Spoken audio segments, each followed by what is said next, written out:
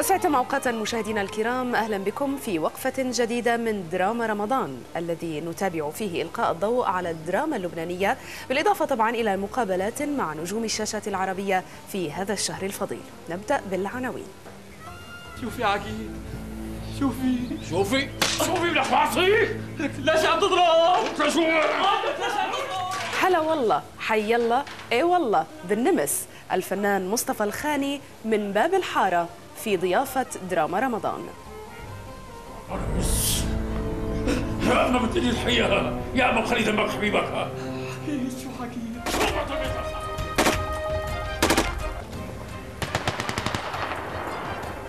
من لبنان. الدراما اللبنانية بشيء من القوة نجحت بالخروج من محليتها.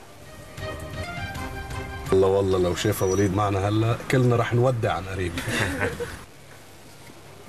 أرحب بداية مشاهدينا بزميلي جميل ظاهر أهلا بك. يا جميل. أهلا فيك. وبداية خلينا آه، يعني نلقي بالفعل أو نستكمل إلقاء الضوء على الدراما اللبنانية. آه، تحدثنا عن آه، المشاركات اللبنانية في الدراما العربية الأخرى سواء كانت سورية أو آه، مصرية. واليوم نتحدث عن الدراما اللب- اللبنانية بحد ذاتها وعن المشاركات الأخرى من خارج لبنان فيها. فعلا مسلسل شيء من القوة. كان له متابعة كبيرة على الأقل في لبنان وكان أيضا في مشاركات من خارج الوطن اللبناني من المغرب العربي بحيث تدور القصة في لبنان وتنتقل إلى أماكن أخرى في العالم بحيث تم التصوير كمان خارج لبنان.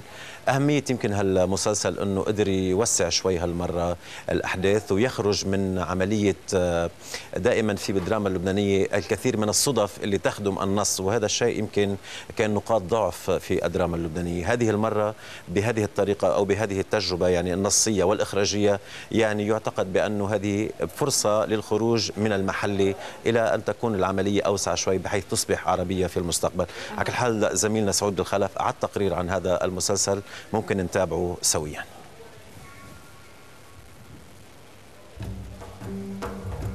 حبيبي البداية معك للنهاية والآخر عمري بيبقى يسعى مسلسل شيء من القوة.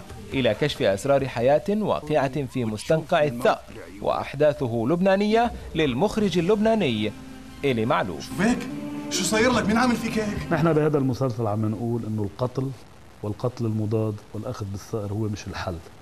الحب ممكن يعالج كل مشاكل الناس. يمكن